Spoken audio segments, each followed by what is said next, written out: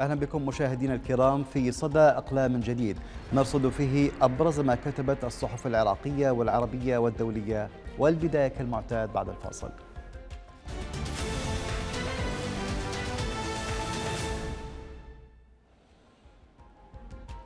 البداية مع صحيفة القدس العربي وقال للكاتب أمير المفرجي ويقول ما يميز انتفاضة العراق البلد الغني بثرواته وحضارته والأشد بطالة وعوزا لمواطنيه هو وضوح أسبابها وصدق أهدافها الوطنية من خلال إعلانها الثورة على النظام الطائفي وفضح فساده الناتج من هيمنة الأحزاب التي جاءت من إيران والغرب على حقوقهم وثرواتهم حيث شكلت أولوية قيام الجماهير الثائرة في ساحة التحرير في مدينة بغداد وباقي مدن العراق بإدانة وفضح سياسة الأحزاب الحاكمة التي جاءت من دول الجوار وباقي بقاع العالم.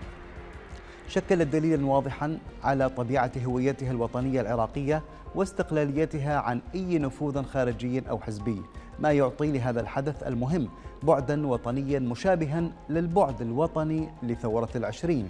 إذا أخذنا بعين الاعتبار حجم امتداد هذه الانتفاضة الوطنية وتوسعها في اتجاه أغلبية مدن العراق انطلاقا من العاصمة بغداد وعلى الرغم من أن أهم هذه الأسباب أو هذه الاحتجاجات التي يعيشها العراقيون هذه الأيام يكمن تفسيرها من خلال تدهور الحالة الاجتماعية للمواطن العراقي بيد أن استمرارها وارتباطها بالأغلبية بات يشكل انعطافة مهمة وتحولا سياسيا ومجتمعيا في طبيعة تطور أهداف المعارضة الشعبية لتتحول في النهاية إلى انتفاضة وطنية بكل ما تعنيه الكلمة. من الواضح تميز علاقات هذه الأقطاب الإقليمية والعالمية بالعراق بخصوصيتها وكونها تمثل علاقات دعم الأنظمة السياسية العالمية والإقليمية للنظام السياسي الطائفي العراقي وليس كونها علاقات هذه الدول مع من يمثل الشعب العراقي. إذا ما أخذنا بعين الاعتبار طبيعة الدعم الغربي والإقليمي لممثلي العملية السياسية. ويمثل هذا الدعم زيارات رؤساء الدول المؤثرة في العالم المتكررة لبغداد على الرغم من رفض أغلبية العراقيين لشرعية النظام الطائفي في العراق من خلال الانتفاضة التشرينية العابرة للطوائف. التي أزالت ورقة التوت وكشفت حقيقة عدم تمثيله لمصالح أغلبية المجتمع وضبابية انعكاس الصورة التي يمثلها النظام السياسي في سياساته الداخلية التي ترجمها صراع الأحزاب في البرلمان وطريقة قمعه للمتظاهرين.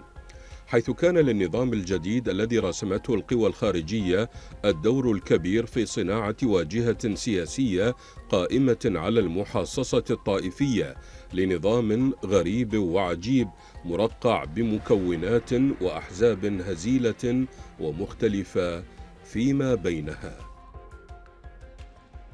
يقول الكاتب عبد اللطيف السعدون في مقال نشرته صحيفة العربي الجديد في ذاكرتنا ملاحظة لافتة للسفير الأمريكي المخضرم راين كروكر الذي خدم في العراق قبل عقد. سجل فيها إصرار الإيرانيين وتصميمهم على إبقاء حروبهم على العراق مشتعلة. يقول كروكر إن قاسم سليماني المسؤول عن الملف العراقي في حينها لم يكن يريد إنهاء الحرب إلا فوق الأراضي العراقية. ويخطط دائما لاستخدام القوة في سبيل تحقيق هذا الهدف. ومن ضمن خططه توظيف الحرس الثوري والميليشيات التي أنشأها في العراق في إدامة ذلك. ولا يبدو في ملاحظة كروكر هذا قدر من المبالغة أو التعسف في الحكم خصوصا وأن القادة الإيرانيين لا يبتؤون يكررون في مناسبة أو من دون مناسبة أنهم يعتبرون بغداد إحدى عواصم إمبراطوريتهم. يخالطهم شعور مريض بالهيمنة والتفوق الزائف ويضيف الكاتب هذا كله ليس غريبا على إيران. لكن الغريب أن حكام العراق اليوم يتصرفون تصرف العبيد مع أسيادهم ولا يعتبرون بما مضى وما أكثر العبر وأقل الاعتبار. تبدو كل الوقائع كأنها حلقات في مسلسل يضم مشاهد تراجيدية وكوميدية بالغة الدلالة والوضوح وفي تضاعيفها يظهر الاستخفاف الإيراني بالعراق. ومحاولة استفزاز شعبه وترويضه على القبول بواقع حال شاذ سعت إلى تكريسه على مدى الأعوام العشرين الأخيرة. ربما ثأرا من الجرح الذي ألحقه العراقيون بها في حرب السنوات الثمان. ذلك الجرح الذي اقترن بإجبار الخميني على تجرع كأس السم وغير غائب عن البال أن سلوكها هذا غير معزول عن مجمل استراتيجيتها. التي تعتبر العراق رأس الرمح في مشروعها الإمبراطوري في المنطقة وهو أمر لا يخفيه المسؤولون أنفسهم. ولأنها تدرك تماما أن العراق بلد جامح وجار يصعب ترويضه وهو عصي على من يحاول إخضاعه تعمد إلى استغلال أي ظرف متاح لها لكسر إرادته. وأمامنا سجل حافل بتدخلاتها في الشأن العراقي وعدم اهتمامها بروابط الجوار والدين والتاريخ المشترك وحتى في عدم توفر النية الصادقة لديها في تطبيع علاقاتها مع العراق وتجاوز ما سببته الحرب من آثار والسعي إلى إقامة سلام دائم وهذا ما رصده باحثون ودبلوماسيون. نشرت مجلة فورن بوليسي مقالا للزميل في شبكة السياسات الفلسطينية طارق الشوا قال فيه إن المعلومات مفتوحة المصدر التي يشار إليها عادة استخبارات المصادر المفتوحة أحدثت من سوريا إلى أوكرانيا ثورة في تدفق المعلومات العالمية خلال أوقات النزاع.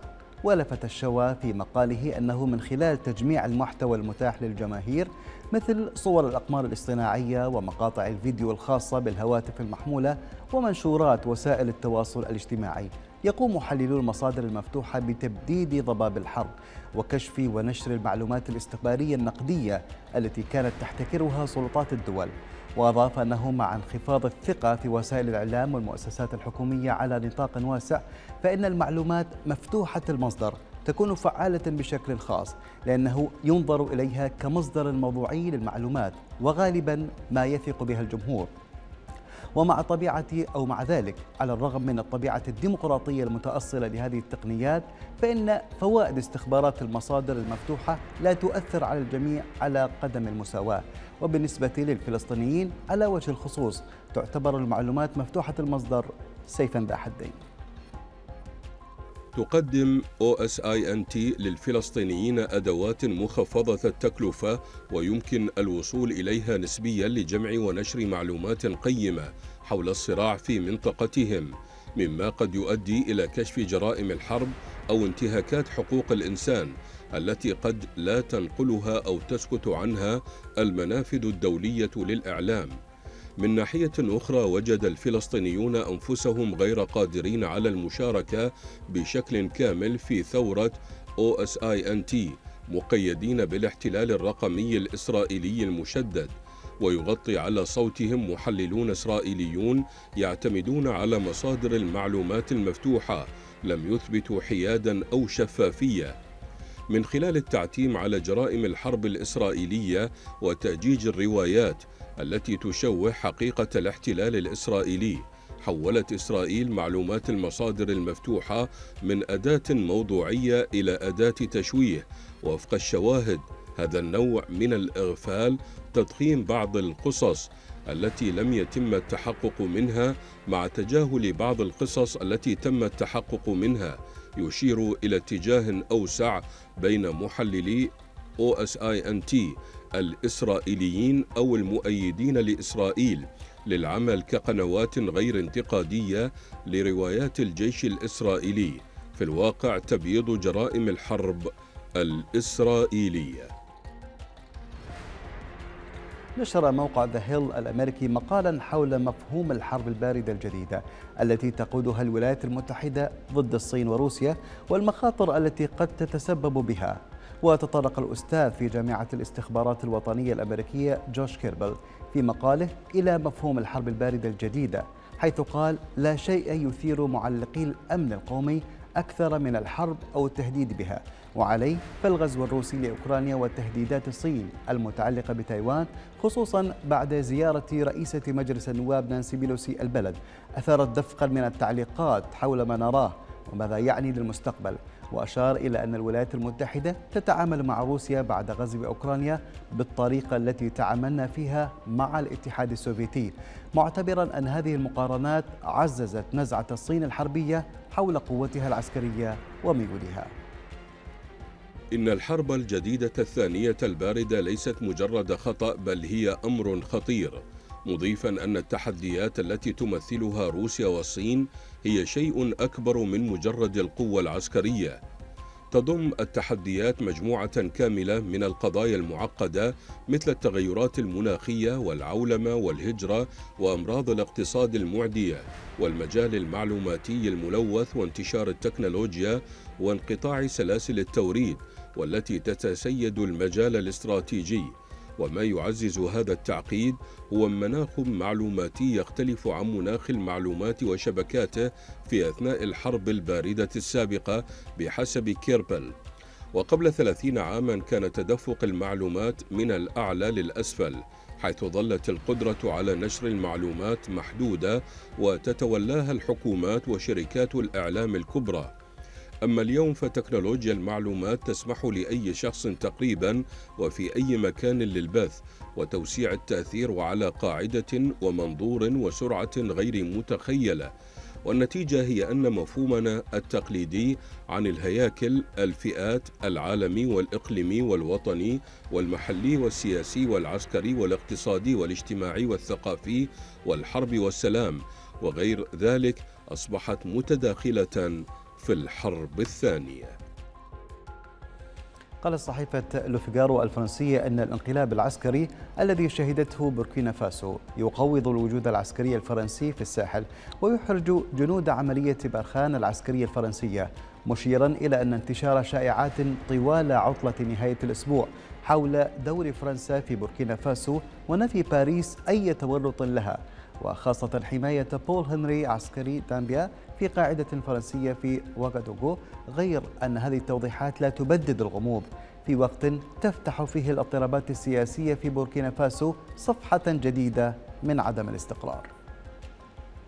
التوضيح أن بوركينا فاسو تحتل مكانة مركزية غير معروفة ضمن ترتيبات برخان موضحة أنه في حين أن القواعد الرئيسة للعملية الفرنسية لمحاربة الجماعات الجهادية تقع في العاصمة النيجيرية نيامي تلعب دورا حاسما في القتال ضد الجماعات المسلحة بمنطقة الساحل وهي المسؤولة عن العديد من العمليات الأكثر خطورة.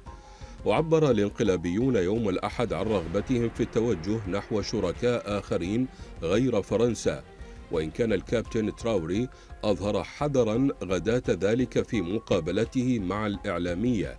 لكن النفوذ المتزايد لموسكو أو المرتزق الروس من مجموعة فاغنر يقلق باريس على الرغم من بعض الإشارات الضعيفة الملحوظة في المظاهرات أو على الشبكات الاجتماعية.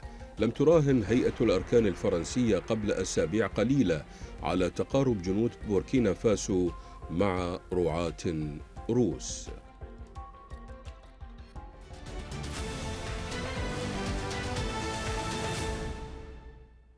مشاهدينا والآن إلى فقرة الكاريكاتير.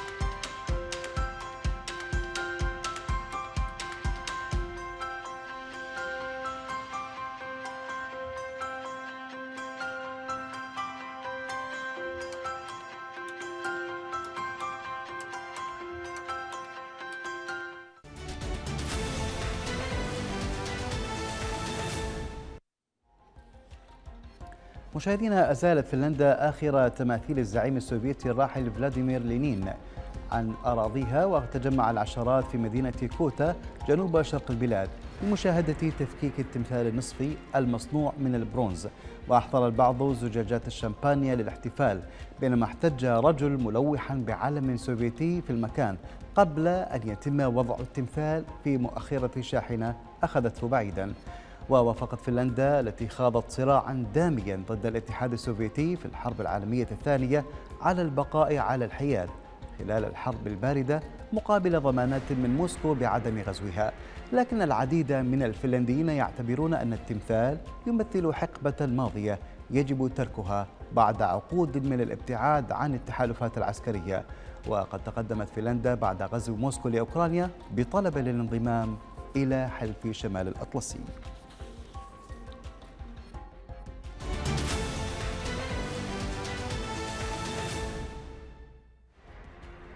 ما زالت الاكتشافات الأثرية تلقي الضوء على تاريخ فلسطين وتوالي أحداثها أو توالي أحداثها التاريخية.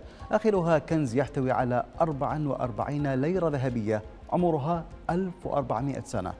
وأعلنت سلطات الآثار التابعة للاحتلال في هضبة الجولان السوري عن اكتشاف 44 قطعة نقدية تاريخية مصنوعة من الذهب الخالص داخل محمية بانياس.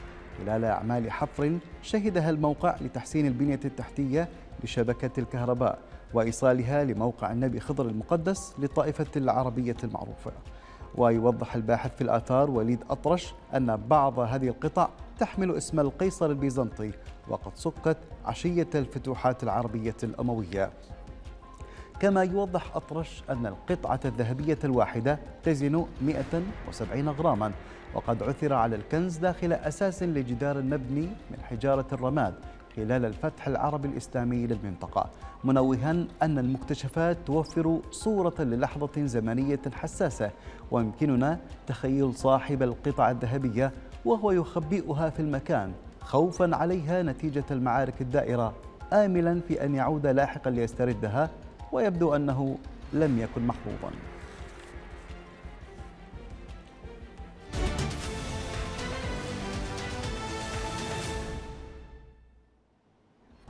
والآن نتابع فيديو اليوم الذي اخترناه لكم من مواقع الصحف.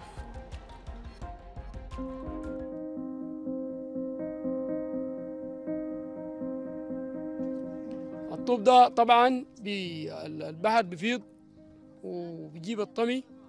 وبعد ذاك البحر الفيضان بينتهي وبيجي بيجي بيحصل الجفاف وبعد ذاك بيكون طمي.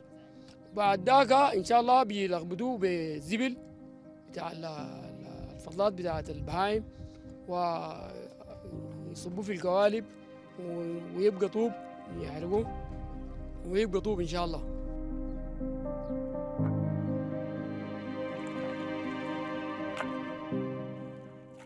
أنا شغال شغلتين تيانا.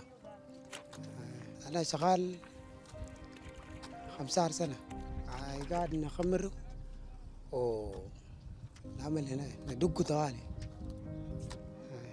يعني يقلبوا بعدك تجيبوا تقطع وتجيبوا هنا بعدك تدقوا.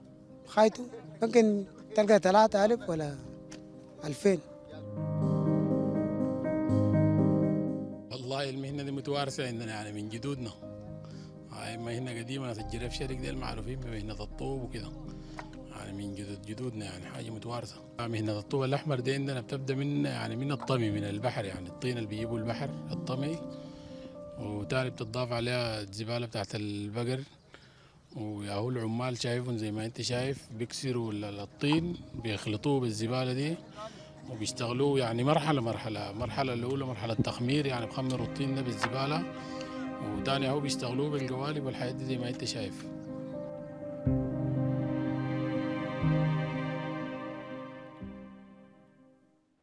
انتهت حلقة صدى الأقلام لهذا اليوم. شكرا لكم على طيب المتابعة ونلقاكم على خير.